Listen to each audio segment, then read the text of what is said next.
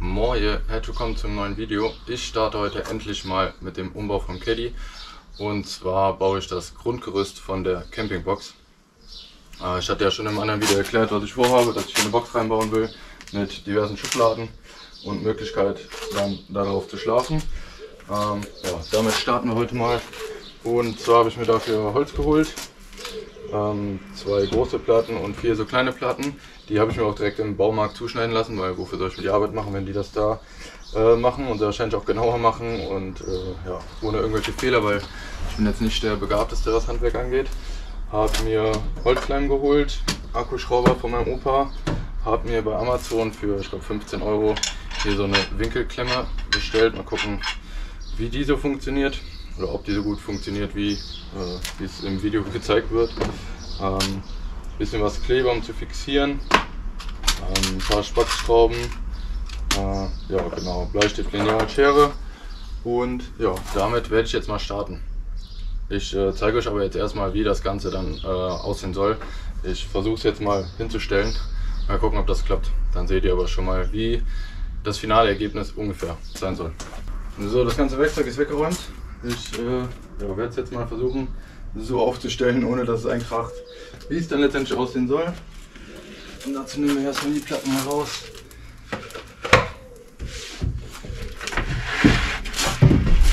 Große Platte raus.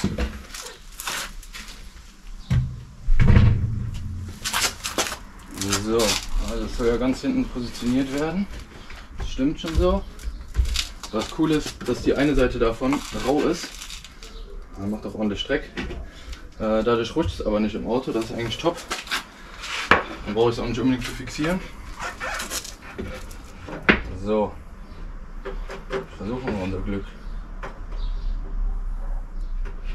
Das sieht schon nicht so aus, als würde es halten. Naja. Schauen wir mal.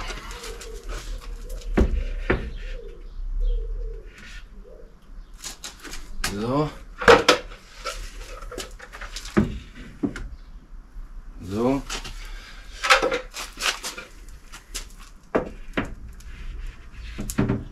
Und so. Ungefähr ist natürlich jetzt nicht abgemessen. Und die soll dann am Ende oben drauf.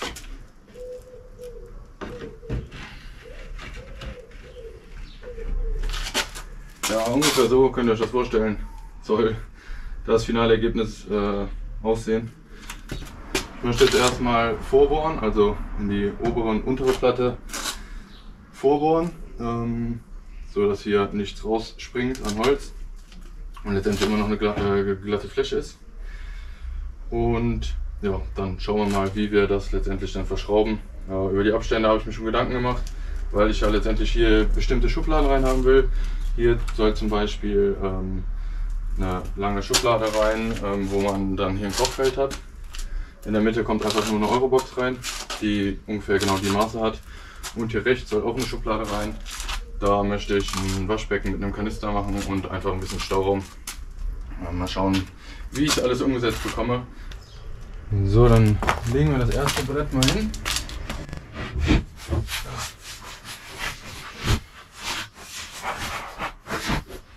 So, und dann werde ich jetzt erstmal anzeichnen, wo letztendlich die vier Wände hinkommen, äh, um dann zu wissen, wo ich letztendlich vorbohren muss, um die zu verbohren. Ich habe mir hier eine Skizze gemacht auf dem Handy. Ich blende euch die mal ein. Auf jeden Fall äh, ziemlich lustig für Leute, die nicht äh, wissen, was ich vorhabe. Äh, sieht, glaube ich, ganz lustig aus. Also ich möchte hier letztendlich ein 39 cm breites Fach haben, ein 41 cm breites Fach haben und hier ein 31,2 ist das, was übrig bleibt, breites Fach haben. Ähm, und die Zwischenwände sind äh, 1,2 cm breit. Ja, die zeichne ich jetzt erstmal an und messe dann von rechts nach links das Ganze aus.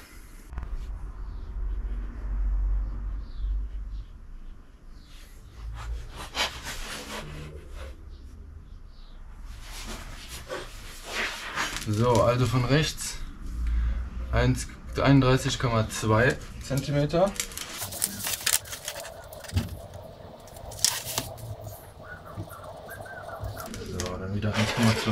2 mm für die Seitenwand. Dann kommen 41 cm, die Eurobox dazwischen passt. Wieder 1,2 mm. Äh, Zentimeter natürlich, kein Millimeter. So. Und dann kommen die 39.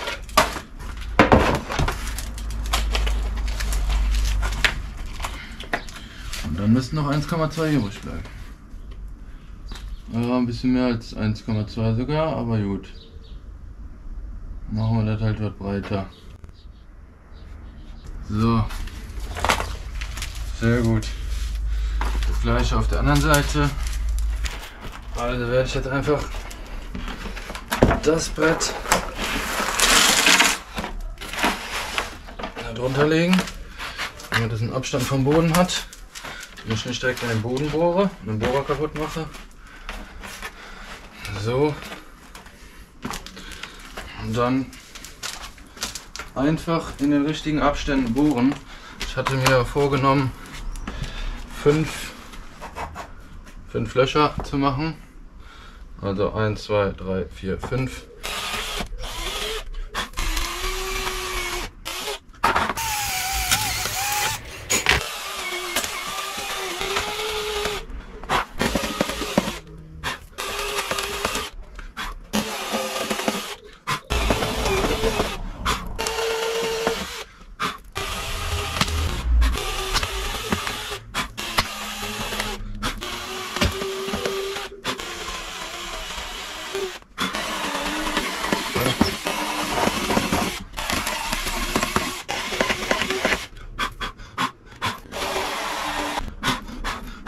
So, damit ist das Vorbohren vom ersten Brett fertig. Schauen wir uns das mal von der anderen Seite an. Ist das abgesplittert, aber das ist egal. Von der Seite sieht es auf jeden Fall gut aus und das ist das Wichtige, weil das ist letztendlich die obere Seite. So, das gleiche mache ich jetzt auch noch mit dem anderen Brett, das erspare ich euch aber. So vorgebohrt ist das Ganze jetzt. Ich habe für die zweite Platte einfach die erste auf die zweite draufgelegt und dann halt einfach die einzelnen Löcher nachgebohrt. So, jetzt werde ich mal schauen, dass ich die erste Seitenwand an ein Brett dran bekomme. Dazu brauche ich das Brett, Boden oder Decke, wie auch immer man es nimmt. Und dann brauche ich hier die erste Seitenwand. Und jetzt muss ich das mal mit der Winkelklemme irgendwie ausprobieren. Mal schauen, wie das funktioniert, Dingen das erste Brett da rein. So, packen wir das da rein. Gucken, dass es hier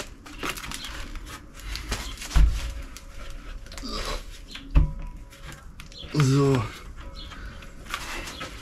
Ich bräuchte echt noch ein zweites von diesen Dingern. Hält das so? Na, nicht ganz.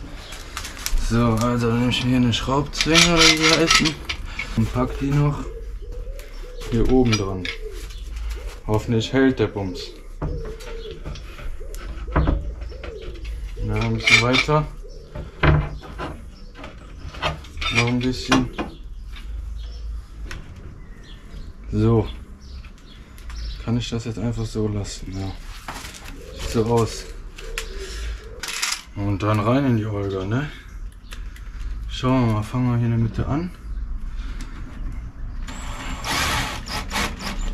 Ja, so richtig vertrauen tue ich dem Ganzen nicht, muss ich sagen. Bin ich denn da in der Mitte? Ja.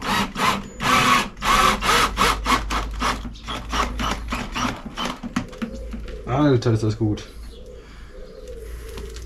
Damit hätte ich nicht gerechnet, ehrlich. Next one.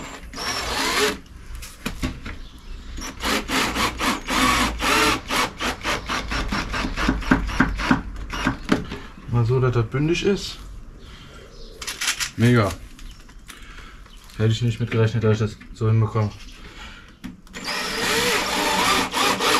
Wenn ihr irgendwie Vorschläge habt für den Caddy, was man auch so machen kann, dann äh, ja immer gerne in die Kommentare.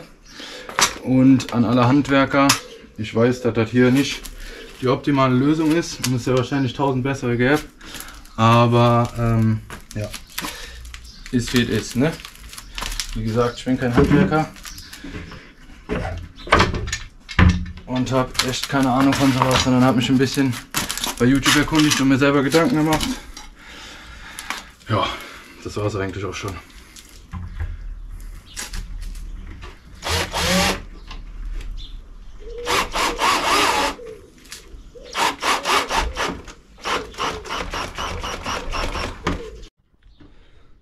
Sieht, ist einfach top dran mit fünf Schrauben.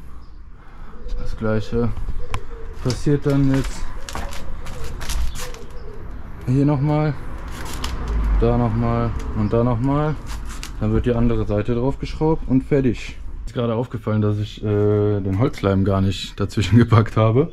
Aber ich wüsste auch nicht, wie ich das machen sollte, weil bis ich das zusammengeschraubt hatte, wäre das irgendwie alles verschmiert gewesen. Deswegen lasse ich es einfach. Ich denke mal, die Schrauben müssten ja eigentlich halten, also ich wüsste nicht, warum nicht.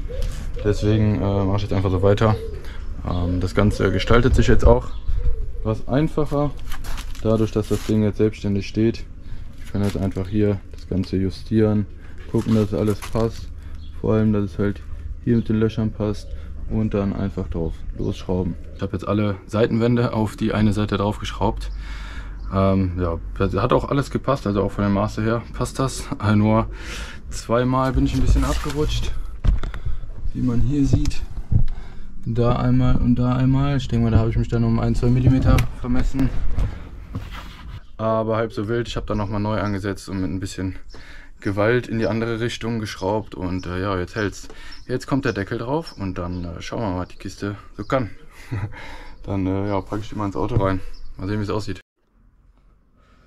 Aber auch für die Seite nutze ich das Winkelding, damit halt einfach echt on point bin.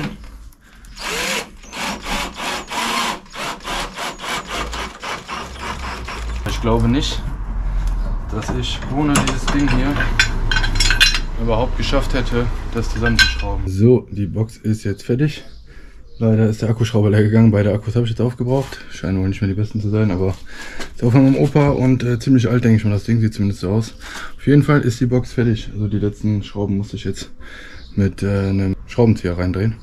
So sieht das Ding aus. War eigentlich relativ easy. Also ich habe es mir ehrlich gesagt schwerer vorgestellt. Mit ein paar Anfangsschwierigkeiten hat es aber dann gepasst. So, jetzt wollen wir das Ding mal ins Auto setzen. Mal gucken, ob ich das überhaupt alleine geschafft bekomme. Also leicht ist auf jeden Fall nicht das Ding. Oh, geht.